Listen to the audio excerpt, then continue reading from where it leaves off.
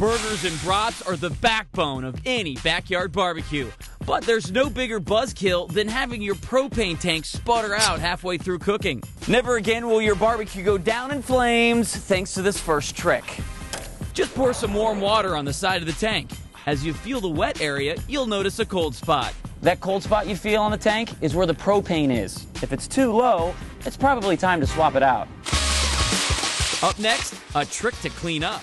Old grill brushes get gunked up, and their wire bristles can end up in your food. But fear not, because aluminum foil is all you need.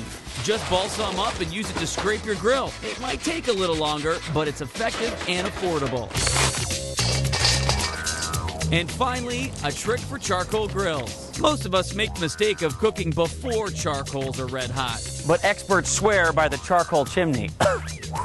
This gizmo, that's around $10, allows more air to feed the coals, getting them hotter faster. Just pour briquettes into the top and fire up some paper underneath. When the briquettes have a thin layer of ash, dump it over and you're good to grill. Okay, it looks like it's about time to take these things off the bobby. Putting the thrill in the grill with these hacks on the lowdown.